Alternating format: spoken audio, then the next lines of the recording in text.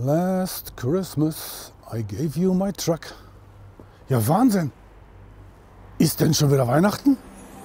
Ja, in der Tat. Und Heiligabend fällt dieses Jahr auf den 24. Dezember. Und daher ist Baumschmücken angesagt. Aber wir Trucker, wir schmücken keine Bäume, wir wollen mehr. Wir nehmen uns gleich den ganzen Auflieger vor. Und daher zur rechten Zeit, am rechten Ort, der Krone Christmas Liner, die Kombination vom Angenehmen mit dem Nützlichen. Aber sehen Sie selbst. Das beste Beispiel dafür ist diese güldene Schleife. Einmal ums gesamte Fahrzeug herumgeschlungen, sorgt sie nicht nur für vorweihnachtliche Stimmung, sondern dient gleichzeitig als Zollschnur für das Tierzertifikat. Ist aber eben auch festliches Gewand, das das Auge verwöhnt. Und das Trackerschnitzel schmeckt ja auch besser, wenn das Salatblatt und das Gürkchen einen dekorativen Rahmen bilden. Klarer Nachteil der Schleife, sie erschwert das Öffnen der Hecktür.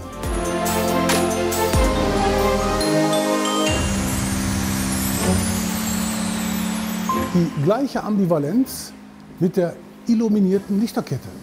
Oben am Aluminium-Außenbaum drapiert ist sie Deko und Warnung zugleich. Markiert sie doch dem Staplerfahrer gut sichtbar die Begrenzung der seitlichen Beladungshöhe. Und Sie erinnern sich bestimmt noch an Loriot in seiner Rolle als Opa Hoppenstedt und seine Beschwerde, früher war mehr Lametta, aber nicht so beim Krone Christmas Line.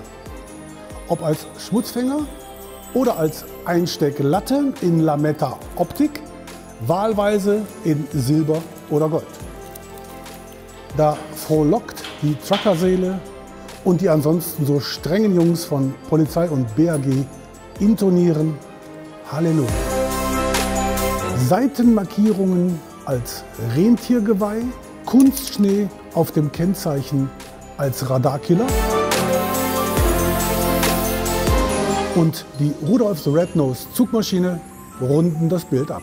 Das gesamte Team von Krone TV wünscht Ihnen eine sehr besinnliche Weihnachtszeit. Ho, ho, ho!